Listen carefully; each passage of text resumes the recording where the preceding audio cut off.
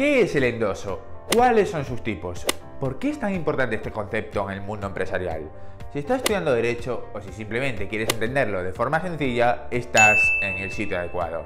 Porque en este vídeo nos sumergiremos a fondo en este concepto, en el endoso, y además lo veremos con ejemplos y explicaciones claras. Esto te ayudará a tener una comprensión completa sobre los títulos de crédito y así a superar cualquier examen de derecho mercantil o prueba que tengas pronto. Pero tú no te preocupes porque estás en Derecho Virtual, la única academia con la que aprenderás conceptos del derecho hasta 7 veces más rápido que con otros métodos tradicionales. Así que a partir de ahora mucha atención porque hemos concentrado toda la información y te la vamos a ofrecer en un tiempo récord para que comprendas el endoso en mucho menos de lo que te lleva a ver un capítulo de Netflix. Así que vamos allá.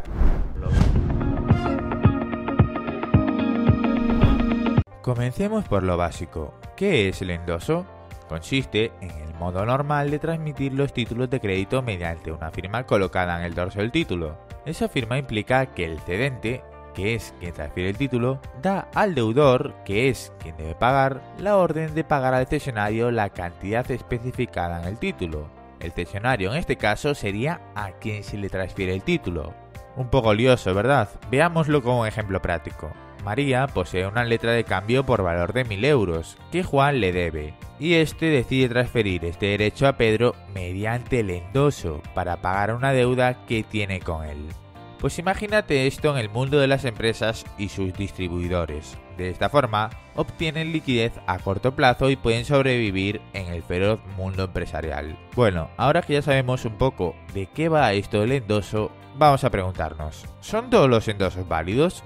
Lo cierto es que no, dado que para que un endoso sea plenamente eficaz, tiene que cumplir una serie de requisitos, que vamos a ver ahora mismo.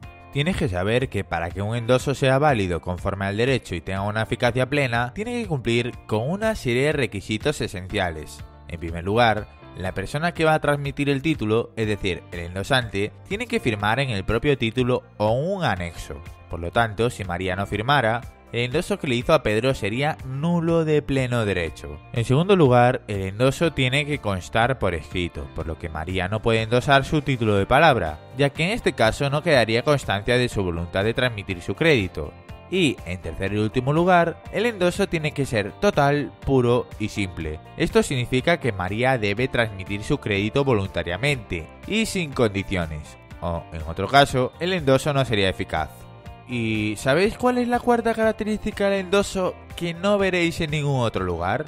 Pues suscribirte a Derecho Virtual para aprender todo sobre el derecho de la mano de los mejores profesionales y todo ello con explicaciones claras y ejemplos prácticos.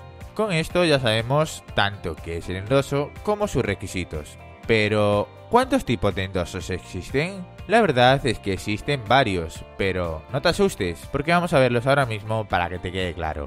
En primer lugar tenemos el endoso pleno, que es el endoso típico por excelencia, en el que quien recibe el título adquiere tanto la propiedad del mismo como su derecho de crédito, siendo este el caso de María. Sin embargo, existen los denominados endosos limitados, que se distinguen de los demás porque no transmiten la propiedad del título, siendo principalmente estos dos. Por un lado está el endoso de apoderamiento, que se regula en el artículo 21 de la ley cambiaria, y solo legitima al poseedor para cobrar la deuda, por lo que ni es propietario ni puede endosarla de nuevo. Esto pasaría si en el caso de María, esta solo facultará a Pedro para cobrar la deuda, pero le prohibiera endosar o ser propietario del título de valor. Esto es lo que ocurre en el caso del endoso de apoderamiento. Y por otro lado tenemos el endoso de garantía, que tiene como fin transmitir el título de valor como garantía pignoraticia de un crédito. Vamos a aclarar esto como ejemplo. Supongamos que María tiene una hipoteca con el Banco Santander y como garantía de su compromiso de pago deja en prenda su título de crédito por valor de 100.000 euros, para que en caso de incumplimiento pueda el banco cobrar ese dinero. Eso es el endoso de garantía. Sencillo, ¿verdad?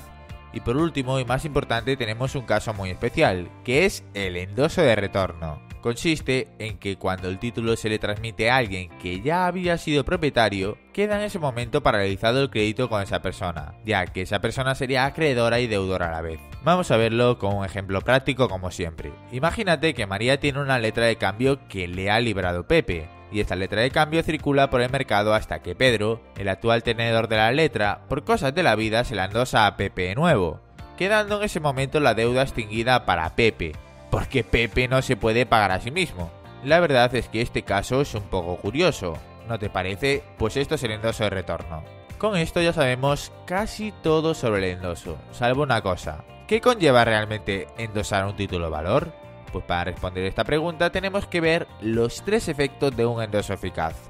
En primer lugar, un endoso produce un efecto traslativo, ya que transmite la propiedad del título y todos los derechos inherentes del mismo, como es el caso del crédito de 1000 euros que María endosó a Juan, siendo Juan el que tiene el derecho a cobrar esta cantidad. En segundo lugar, tiene un efecto legitimador, puesto que el actual tenedor del título, Juan en nuestro caso, tiene una legitimación para ejercer su derecho a recibir ese dinero en el caso de que María se niegue.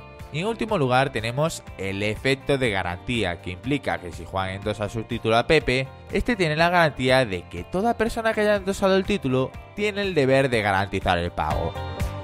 Y con esto ya hemos terminado con el concepto de endoso. Ya has visto lo fácil que ha sido. recuerda que el endoso es la forma básica de transferir los títulos de crédito, como pueden ser las letras de cambio o los pagarés, donde el cedente o endosante da la orden al cesionario o endosatario mediante una firma en el dorso del título. A través de ejemplos vimos los tipos de endosos como el pleno, el básico, los endosos limitados, siendo el de apoderamiento o el de garantía, así como el peculiar endoso de retorno. Y también descubrimos los tres efectos principales de un endoso eficaz. El traslativo, el legitimador y el de garantía. Así que si te ha gustado este vídeo, déjanos un like y un comentario como agradecimiento. Y suscríbete al canal si no te quieres perder más vídeos como este. Nos vemos en el próximo. Saludos.